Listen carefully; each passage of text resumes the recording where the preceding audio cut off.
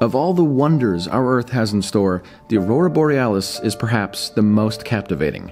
A celestial light show resulting from ionized gas at different levels in our atmosphere, its colors range from red, green, and even a bluish purple. Hey, I'm Jay. This is Plasma Channel.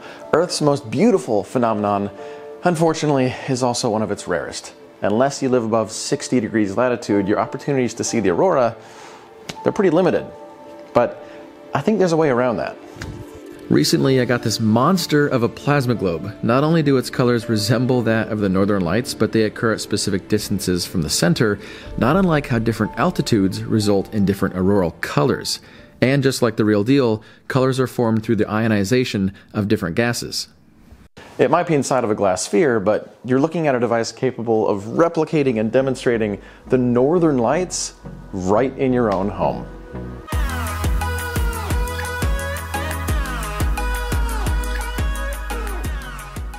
Whether a gas is ionized through high voltage or particle collisions, it emits light as a byproduct of the ionization process. Each gas emits a specific spectral range and, to our eyes, appears a specific color. For example, krypton glows grayish white, neon as a familiar orange glow, xenon a rich bright blue, and mixing xenon with nitrogen creates a diffuse green. In fact, all of us have seen ionized gas in the lower atmosphere.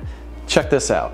The reason why lightning on Earth is a purpley bluish color is because the lower atmosphere is composed of about 78% nitrogen and approximately 21% oxygen. Nitrogen's ionization color is a bright bluish white, and oxygen, one of its ionization colors, is a dim lavender.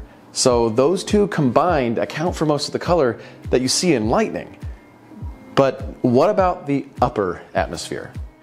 Well, that's where the northern lights take place. You see, in the thermosphere, molecules of oxygen and nitrogen are bombarded by radiation and energetic particles from the sun. During strong solar storms, the Earth's magnetic field concentrates and traps this influx of particles towards the poles, resulting in ionized gases.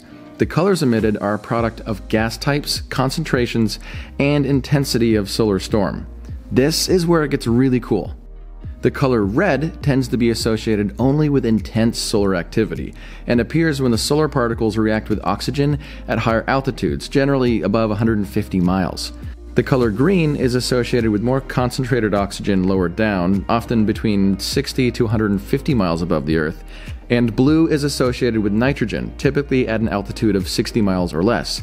This color is seen less frequently and again tends to appear when solar activity is really high. So if you're one of the few that are fortunate enough to actually witness an aurora, the colors you're seeing are visualization of altitude. Pretty wicked. Well, unfortunately, most of us don't get the chance to see an aurora, but as I'm alluding to, there's a tool you can use to simulate it right in your own home. They're the most underrated thing you can buy plasma globes. Just like an atmosphere, this beast contains a mixture of several gases. The gases present are primarily neon, xenon, and krypton. It's made by a company called Aurora Plasma Design, and it's about 15 inches in diameter, so it's perfect for our purposes. Honestly, when my order arrived, I was really excited and I nearly forgot to set up the camera. The thing was just so huge that when I unboxed it and turned it on, well, I'll let you listen. what? Dude, that's just. That's freaking insane. what? Turning out the lights, this is one of the most beautiful things I've ever seen. The filaments look like green fire and are red near the tip. Touching the glass results in really angry white arcs, too. Okay, let's break down what's happening in the globe. Keeping in mind the gas is ionized due to high voltage, the filaments are green, indicating what is most likely ionized xenon and trace nitrogen. Tips of the filaments are orange due to ionized neon, and the bright streamers are ionized xenon, neon, and krypton. You'll notice the color changes with increasing distance from the center, not unlike how an aurora's color changes due to altitude. Now the gas is evenly mixed, so why is there separation in color? This took me a second to understand. Well, the color doesn't just come from differences in gas, but also comes from differences in intensity of energy flowing through the gas. Each gas is ionized at different levels of energy, which comes from the center electrode, about 10,000 volts AC. Different gases will glow at different distances due to falling electric field strength as you go away from the central electrode.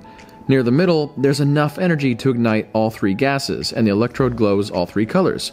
Moving outward, only the green color is expressed due to lower electric field strength. At a certain distance, though, the electrons may not be energetic enough to excite the green transitions that you see in the streamers. That's why the tips are reddish orange, because at that distance out from the center, there's only enough energy left to ignite the neon. The bright blue streamers, on the other hand, are the most powerful. They indicate pathways energetic enough to ionize the xenon. Only appearing above a certain threshold of input power, they get intensified when you touch the glass, and that's because touching the glass gives the high voltage a direct path to ground, leading to more current flow.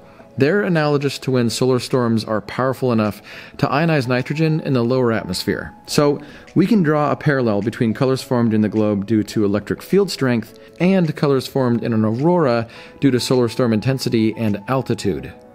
Since these properties are intrinsic to all plasma globes, you can also use a smaller plasma globe to simulate the process as well, though the colors might not translate over perfectly.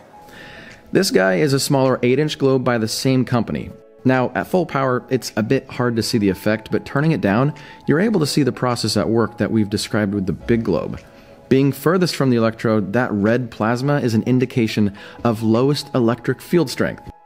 I know it's not a perfect comparison, but they both use similar concepts in physics, resulting in the same colors and similar states of matter. Plasma. Ultimately, seeing the northern lights is something that I've just dreamed about since I was a child. Growing up in Seattle, I can recall probably about a dozen times the local news claimed we'd be able to see it on a special night. Well, it never came far enough south for me to see it. So for now, that's why I'm drawing a parallel between the real thing and my new favorite toy. If you'd like to know where I got that or the um, the plasma wands, I'll leave a link in the description down below to go check out the company. Um, they're not paying me to promote them. I just think they have really cool products. Hey, thanks for watching. I'd really love to know your thoughts, so leave a comment down below. And if I missed anything important with the science, please don't hesitate to correct me. This video just represents my understanding on the topic.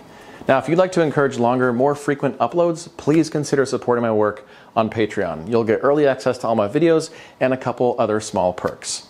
You stay classy, you classy cats.